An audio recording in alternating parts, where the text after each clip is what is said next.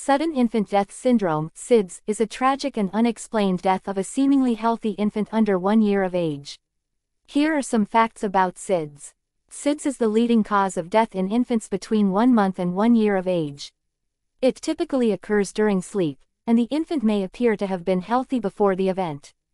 The exact cause of SIDS is unknown, but it is thought to be related to abnormalities in the areas of the brain that control breathing and arousal from sleep.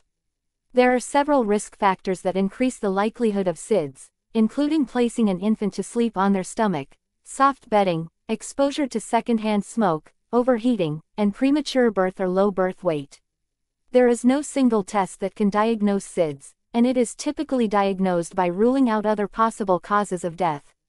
To reduce the risk of SIDS, the American Academy of Pediatrics recommends placing infants on their backs to sleep, using a firm and flat sleep surface, keeping soft objects and loose bedding out of the crib, avoiding overheating, and breastfeeding if possible. SIDS is a devastating event for families and communities, and ongoing research is focused on identifying risk factors and developing effective prevention strategies.